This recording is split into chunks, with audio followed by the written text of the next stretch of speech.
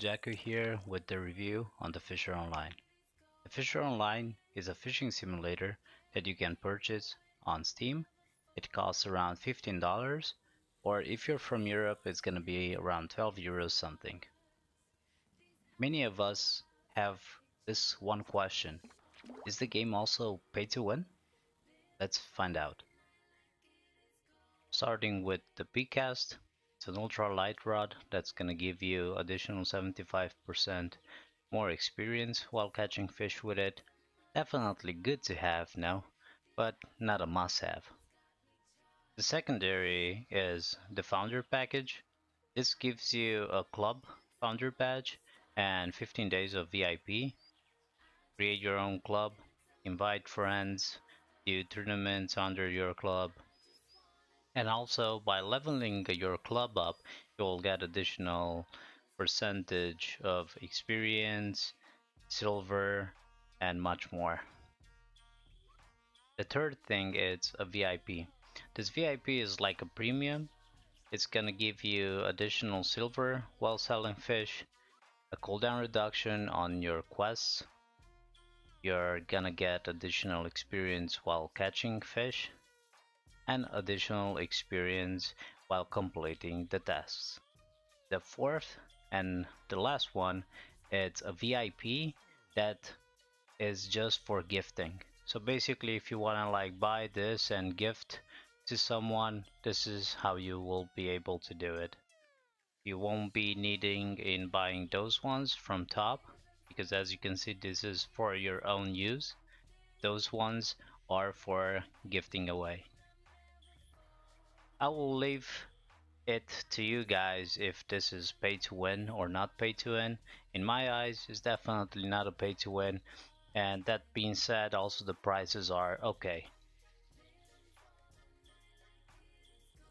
Now, after knowing what else can we buy with real money, let's hop into the questing system.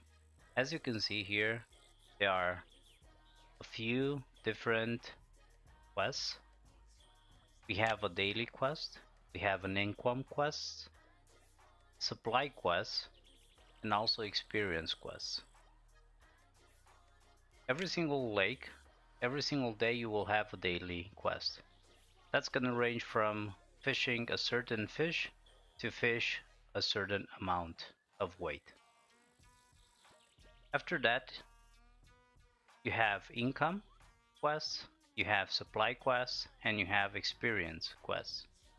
You can take one of each every 20 minutes or if you have the premium that's going to be reduced by 50% it's going to be every 10 minutes. This system, this quest system is very nice because you won't stick just with one fish. You will non-stop rotate. For example here I see this Zander is giving a decent amount of silver so why not take it and try do it?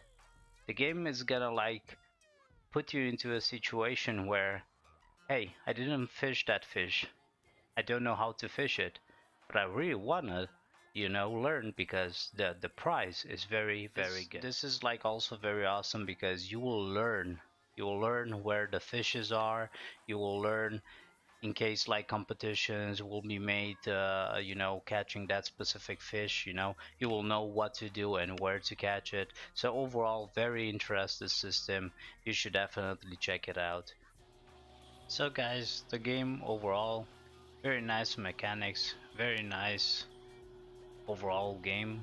The game also provides us with records with a statistic your own statistic the fish that you can catch on every single lake, the travel button here that you can use to travel from lake to lake, and also tournaments. As you can see here, the tournaments are basically how much time, what exactly you're gonna need to do, how many rods, for example like this one, you'll uh, be using, and here are also the rewards. Also, here is the club. You can uh, you can check also what extras will you get by leveling up your club.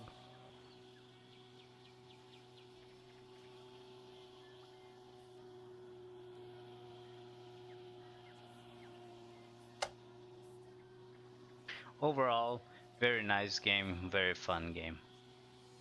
I'm trying to make those videos not too long.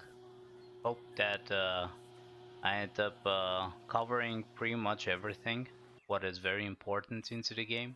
Wanna say thank you guys for dropping by. Hope you enjoyed the video. Feel free to subscribe or like this video. Also comment down below. Till next time, I'm gonna jack you off. Stay healthy and play smart. Take care guys you.